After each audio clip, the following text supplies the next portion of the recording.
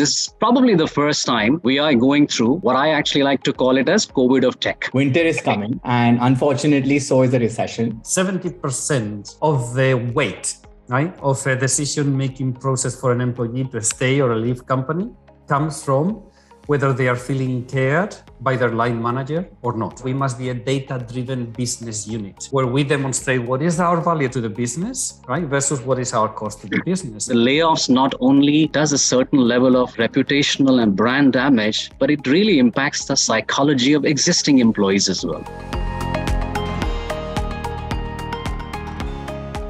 As we begin, I think I'll set some context for everybody. Winter is coming. And unfortunately, so is the recession. Companies are reimagining ways to sail through this downturn. And we've seen two alarming trends all over the globe. Number one is that 90% CEOs believe that a downturn is coming. And this was a survey done on 400 American CEOs by KPMG just this year itself. And number two is within this year itself, in 2022 alone, 850 companies have laid off more than 130,000 employees all over the globe. And this is an alarming time for all of us. But at, at a time where recession is concerning most of these companies, psychological safety and retention of employees is number one priority. And as you saw in the topic, we would go on to say retention is the new recruiting. So let's dive right in. I am super excited to introduce you to a diverse panel we have today, which is Vikas and Sergio. And let's start off with Vikas. Uh, Vikas is the country manager at Quess Singapore. Uh, it's in the top two largest IT staffing firms in Singapore. The organization size is roughly 1,500 employees. He's a graduate from National University of Singapore with more than 18 years of experience and handles a complete P&L responsibility of more than 120 million Singapore dollars. And my favorite bit now is Vikas's personal passion is astrology. So thank you, Vikas, for making time today. Thank you for having me. We now have Sergio as well. And that's where it gets interesting because Vikas is a country manager, but Sergio is a chief people officer. Sergio works at Carsome. Carsome is Southeast Asia's leading car e commerce platform. Um, the organization size is 5,000 employees. And Sergio is a Stanford grad with more than 25 years of experience uh, in companies like Electronic Arts, Nokia, Yahoo, Google, and his personal passion is sailing. So uh, thank you so much for making it today, Sergio. Thanks for the introduction. Thank you very much for inviting me. Very excited to be here. So, Sergio, um, given you're in Southeast Asia and like US being a separate market, are you seeing an impact of the recession uh, in Southeast Asia and Singapore? And uh, like what's your uh, take on what's going on right now? I doubt that there is any particular region in the world or group of companies or industry that is not feeling the effects of, of those massive waves by starting in the us market. There's uncertainty that makes it difficult for leadership teams to make business decisions. It disrupts strategies right? But at heart i'm a little bit of an optimist and i like to, to think that um, any any time of disruption is a good opportunity. You uh, you gave us a quote earlier, I think before we connected, from popular culture. You said winter is coming. Right? another another quote from the same show or books, if you prefer, is chaos isn't a pit, chaos is a ladder. And therefore, I believe that whenever there is disruption, there is also many, many opportunities, right? Having to go through tough times can make companies and individuals more resilient. And uh, while I see that organizations are being negatively impacted, I also see a lot of creativity and many organizations figuring out what are the next steps and making the most of the circumstances. Right? Um, this comes from my time at Google, but uh, at least in those years, we wanted to believe that you have to disrupt yourself continuously before the market conditions or something else or another company competitor disrupts you. So Vikas, you yourself, despite being a business leader, have spent 18 years in the recruitment space, right? So given that context, what's your take on what's going on uh, in, in, at least in the Southeast Asia market with regards to the recession and the slowdown? Well, we can't catch a break, can we? First, it was COVID. And just when we thought we were coming out of COVID, you know, things were getting normal. You know, war has been thrust upon us. Now you've got a cost of living crisis. And so we are, yes, staring at an economic slowdown. But I think my take is a little bit different, though, here. Talk of recession has basically come to the headline because of essentially the layoffs that we have seen in the tech industry for the past four or five months, right? They, they have sort of grabbed the headline.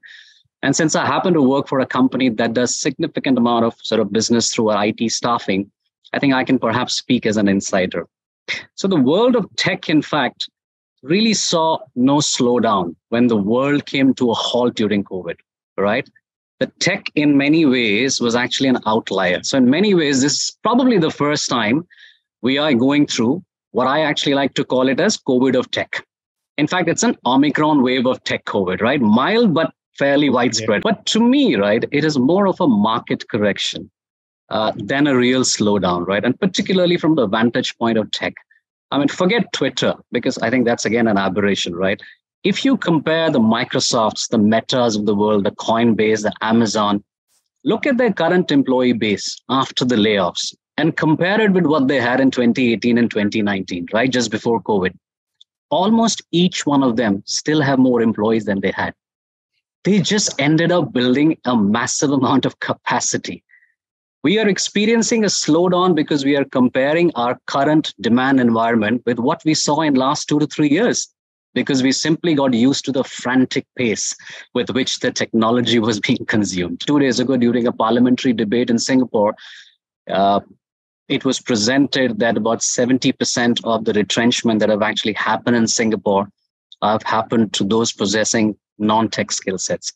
So that means that there's still a demand for tech, it's just that, yes, the demand from the, the tech companies have normalized. Interesting. That's a very unique perspective. And a question I have for both of you is how is this impacting you, right? Like as people leaders or your people leaders in the company?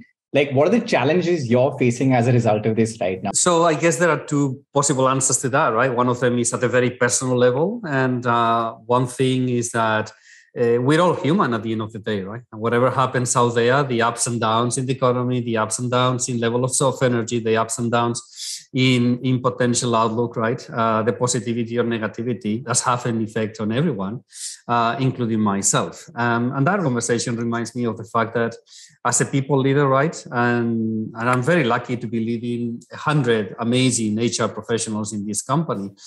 Uh, but it's important to keep in mind that all of us have two levels of responsibility. We have a level of responsibility towards 5,000 people in the company. We have to take care of them and provide them with the best possible employee experience. But at the same time, we also have to put that kind of oxygen mask on ourselves first and make sure that we can manage our own emotions and our own levels of energy. Right? And certainly that includes myself, same as all the others, in order to be able to help others. Right? Uh, it's difficult to help others if you're not feeling uh, very well yourself. Um, I think also uh, we were discussing the other day, right, the concepts of psychological safety and, and ensuring that we can create the right atmosphere uh, for people to be vulnerable, to feel like they can express their opinions without the fear of being judged or humiliated. Interesting. In fact, like last year, I remember reading that 98% of HR professionals themselves are facing burnout, let alone solving for burnout for their own employees. So, people professionals, as you like to say, Sergio.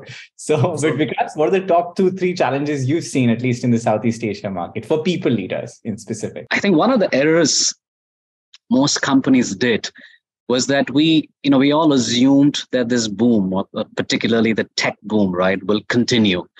And therefore, we just continued building capacity into the system. Now, the excess capacity was really built without looking at the right composition of your workforce mix, without thinking through sort of what skills were core to your business and what skills sort of you should leave maybe to you know to an outside expert an outside outsourced supplier right? Companies found it much easier to just increase salaries and hire aggressively rather than working hard on the culture and the great employee experience. So the challenge now with all the leaders in the current context is that we build this extra capacity uh, now what do we do with them right? Now that the demand is actually slowing down. Of course many organizations have taken the call to lay off and and and you know they are obviously giving severance packages and perhaps also taking helps of the outplacement organizations.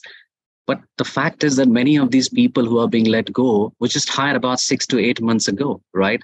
And the layoffs not only uh, does a certain level of reputational and brand damage but it really impacts the psychology of existing employees as well right? It makes them insecure and it, in fact it affects their productivity as well unfortunately this these same companies are going to find it difficult attracting talents right because employees will now i think prefer to stay and perhaps value those companies who were prudent in their cost expenses and really paid attention to the overall employee experience. Sergio, like as you add on an, addi- an additional question I have for you is Vikas mentioned psychological safety again, right? So not only the challenges, but how are you addressing psychological safety? Irrespective of the current circumstances, I think psychological safety is an ongoing project, an ongoing work for them, right? And most importantly, no one can create psychological safety. The role of people leaders like myself is to actually create the right conditions for people to feel like they can be open, transparent, right? and share knowing that they're not going to be judged. Um, so, irrespective of the fact that we seem to see a lot of things going on in the market, the work of creating the right conditions for psychological safety has not changed. If anything, we probably have to spend even more time right, uh, driving this kind of this kind of tactics or strategies. If a business leader is himself or herself disengaged, obviously it's going to be quite difficult for the team to also feel engaged ensuring that the team understands right that they can be open by being open yourself. We're all human right? We all have our up days and our down days. So showing that right, uh, also creates psychological safety. Um, addressing negativity nipping it in the bud uh, not necessarily uh, avoiding healthy conflict but ensuring that negativity doesn't seep in, right?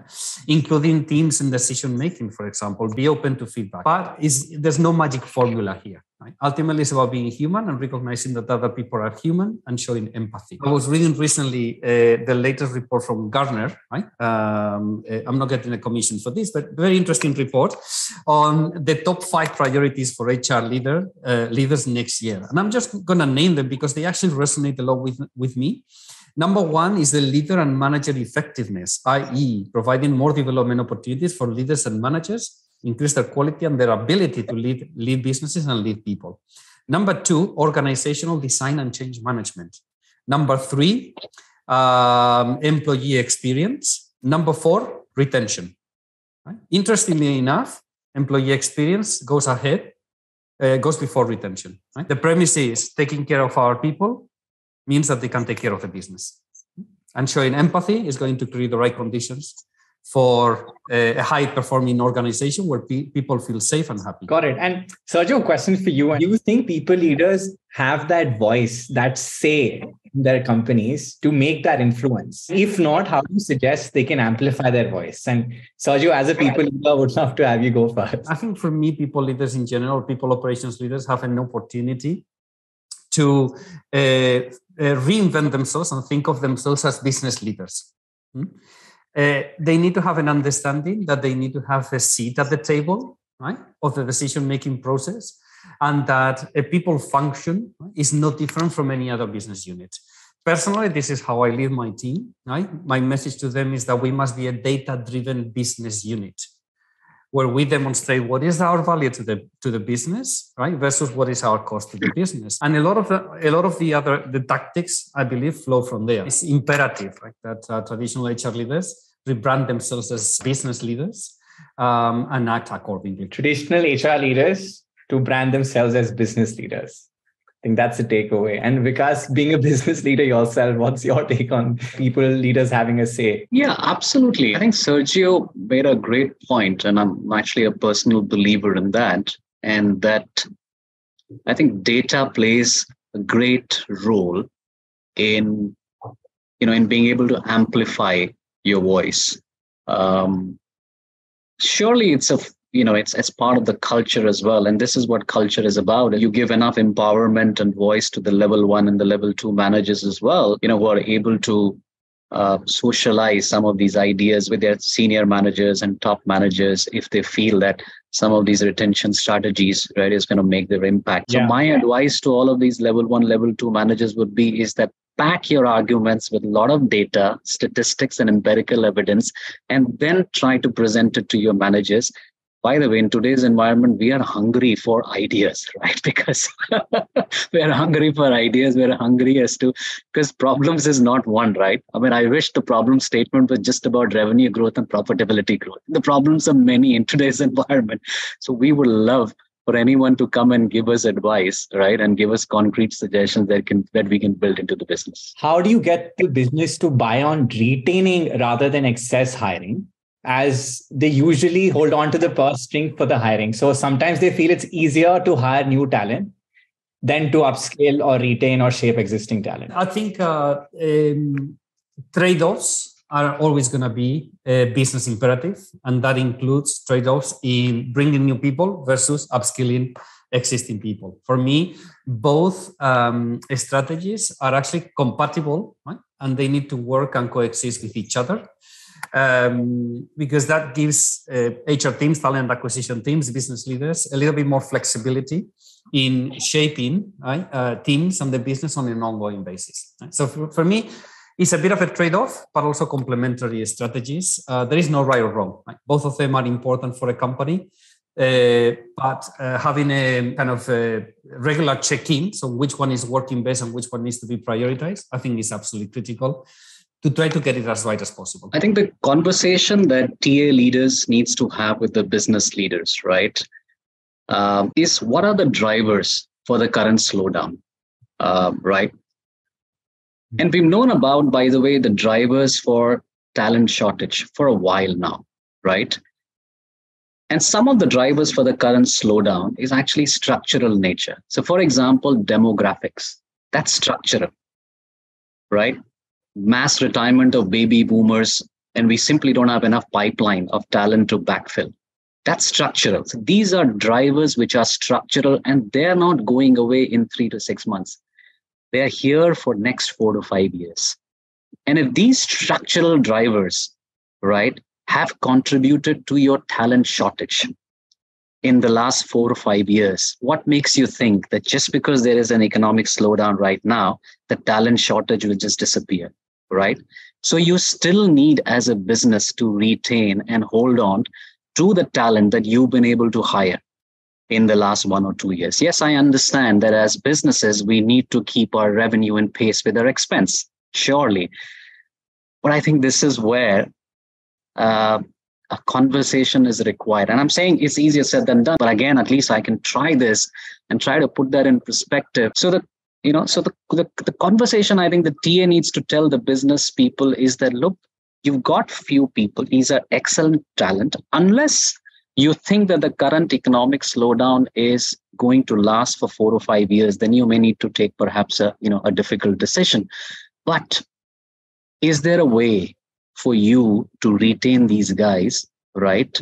Uh, while still reducing your cost. And there are ways of it, by the way. You can work with an external consultant. This is one of the things that we actually do is to basically take excess capacity from an external organization and you know sort of run it as our run it as our employees as an external workforce well where you know benefits can be sort of minimized but we give them the flexibility that tomorrow if there is a you know a cycle which resumes you can take those people back so eh, eh, you know so so again i sort of go back to the fact is that you don't want to let go of the talent that you have just because you have a certain transient economic slowdown. Because you're saying that just because of the current transient nuance, right, we should not let go of the talent. The topic was retaining is the new recruiting. Sergio said that what worked for culture last year may not work this year.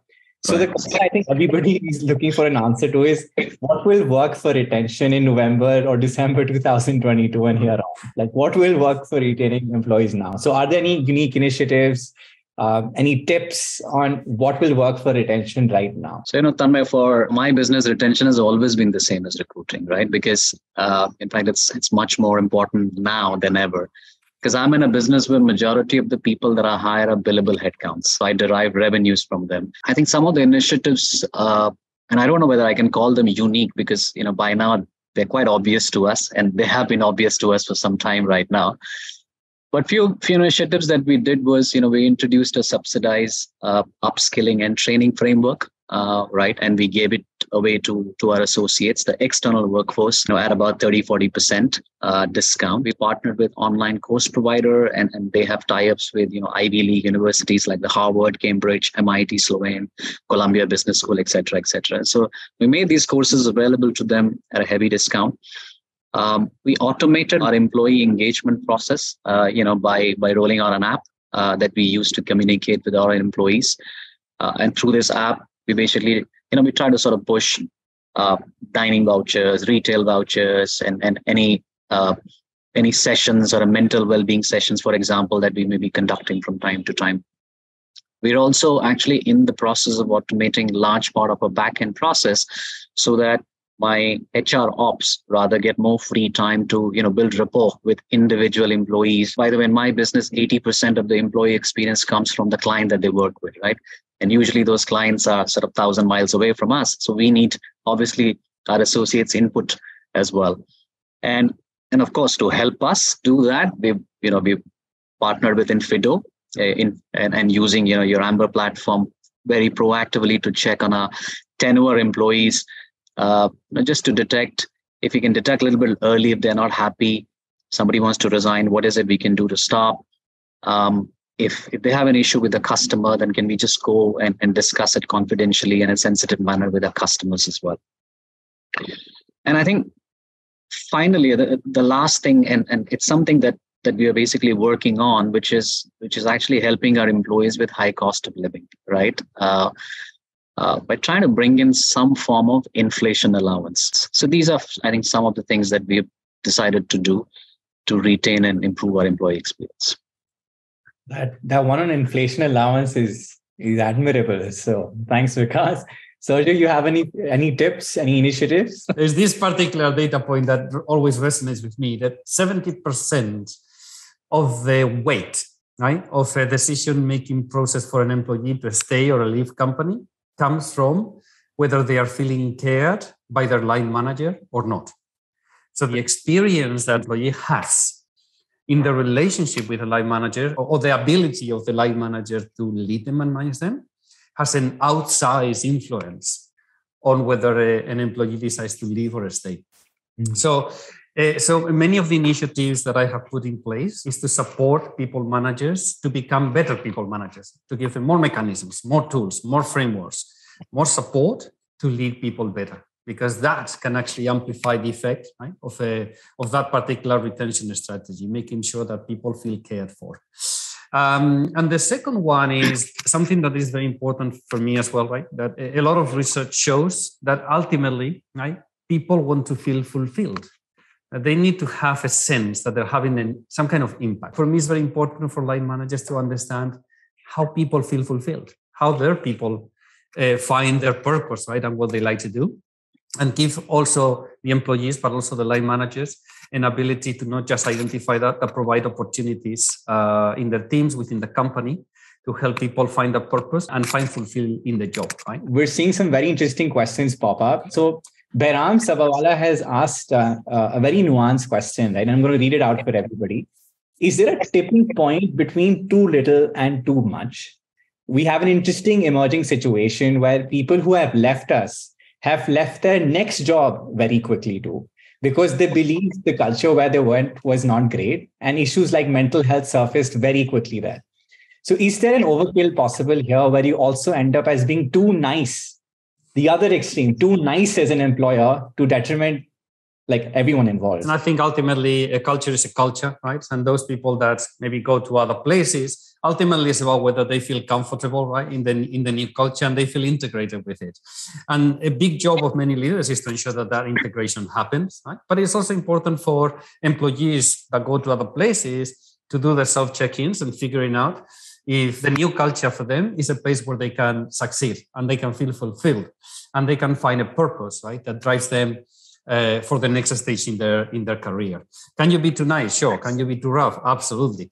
Uh, but the reality is something that works today in terms of culture or approach or behaviors may not work next month. A company is not an isolated entity a company gets uh, influenced negatively and positively by what's going on in the market, what the competitors are doing, right? What type of people join the company, what type of people leave the company.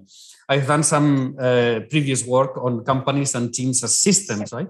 And it is fascinating to see how the different influences play a role in, in shaping up cultures and shaping up the, the, type of people that succeed or or or maybe fail in, in some cases. First, I'm going to start asking some of my favorite questions because uh, you know what's coming your way.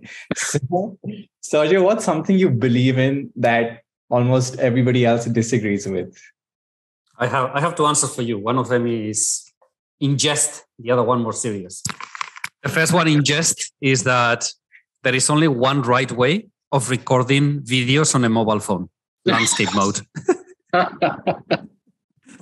Vertical videos should be banned. that is half in jest. Uh, I think the other one is a little bit more serious, right? Because I and I got this from reading a couple of really good books last year, um, and I think it comes down to uh, no matter how good you are, you're still replaceable. And for me, that was almost an epiphany. It relieves so much pressure in trying to live up to expectations, knowing that you are you're just as good as you are and you can create the right amount of impact, right? But you're not trying to live up to expectations. You don't have to live up to expectations of everybody else. In many cases, those could be contradictory, right? And you can make everyone happy. Wow, interesting. And Vikas, what about you? What's something you believe in that most other people disagree with? Sure. Um, actually, there are quite a few things, yeah. But I'm going to follow Sergio's script and just going to name you two very quickly. The first thing is most people think that leadership is a natural trait right? That you're born as a leader. And and honestly, I've never believed in that. I mean, I think just like all other things, you are shaped by your experience, and therefore you can learn along the way to be a good leader. And really, if you happen to be lucky to to have good mentors and role models in your life that were really kind enough to spend time with you and teach you, you know, some nuggets of leadership, you can learn and grow to be a leader. The second is, is a personal. Uh, Ray of McDonald's said famously, luck is a dividend of sweat. So harder you work, luckier you get. But the way I define luck is actually opportunities. So luckier people get more opportunities in life to grab something special than others, right? Now, what you do of that opportunity and whether you're able to capitalize on that opportunity depends on your maturity and hard work. So I would I would really tweak the saying to success is a dividend of sweat. So harder you work, more successful you get. But for opportunities to come your way, you need luck. And for that, stars need to be aligned. So we have a few hundred folks on this call combined across Zoom and LinkedIn, and most of them are HR leaders. What would you like to say as a closing remark to hundreds of people leaders? So my message to you know all uh, all the leaders would be is that please look at the recomposition of your workforce, and and I think think hard about what skills are core to you and what skills are not. I mean, what strategies core to your business and, and what is not. Don't build capacity, assuming demand environment. Let's not try to do things in house for which you don't see a visibility for at least three to four years. Uh, again, take advantage of flexible workforce. It might seem like I'm advocating my industry, but I think there is a lot of merit in taking help from a staffing company to engage talents on a contingent basis. I mean, engaging contingent talent does give you access to top quality talents, but at the same time it does give you flexibility as well to you know flex up and flex down. And really unlike unlike flexing down when you're getting rid of your own perm employees you can flex down contingent staff and it does not come with a reputational damage. Focus on culture value and employee experience particularly at the sensitive time. I think culture will beat salaries when people come out of the cycle culture won't be defined as bean bags, free lunches, and sleeping pots. Culture would be defined as whether there is an empathy to the external environment.